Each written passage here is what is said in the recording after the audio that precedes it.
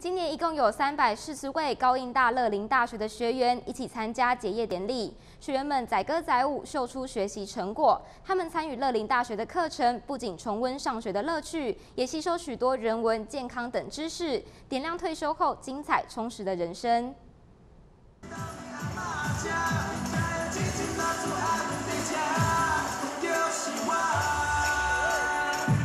个人的身上都穿戴五颜六色的特殊道具，随着音乐左右摇摆，现场宛如一个小型的舞会。还有台客舞曲结合韩风舞蹈的带动跳，音乐结束后，大家一起欢呼，气氛非常嗨。哦，比如说我们说泡咖啡，我们也是在课程里面啦。我们也有一些餐饮的课程在里面，我有一些旅游的课程在里面，那也有很多文创的课程，啊，一些语文的课程。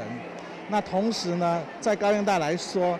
最重要的一点是我们希望能够提供他们觉得一个安全舒适的环境。除了动态的表演，还有静态的展览。这些编织手提袋、艺术美彩的画作，还有叠古巴特的手工袋和手冲咖啡。高音大乐林大学的学员在结业典礼这天，大家尽情展现才华和学习成效。那很快我们就六十五岁了，我太太很快就六十岁了。那退休后的生活也很重要，要有充实的内容，要多元。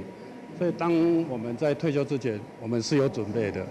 我是觉得退休后要有一个固定的，呃，就是比如说上课啦，或者去学的什么，这样生活上才不会觉得无聊，或者浪费很多时间。高应大的乐林大学从九十九学年度到现在已经办理六年，人数也从第一届的三十五人增加到三百四十人，成长将近十倍。开办的课程领域非常广，除了音乐艺术，还有世界旅游、健康养生，甚至是财产的法律问题。另外，在燕巢校区还有烘焙工作坊。所以我觉得在这里哈，就是让我们以前没没享受到的，在现在就享受到了。啊，以前都只是读书啊、工作啊、啊这个婚姻在家里面呢，就是呃弄家庭啊。但是现在真的是有我们自己属于我们自己的呃时间跟天地，所以我们日子都属于我们的。这群学员不论是高学历或是资深专业职场退休的族群，大家都超越了年龄和身段，继续发挥所长，贡献社会，让后半场人生更加精彩。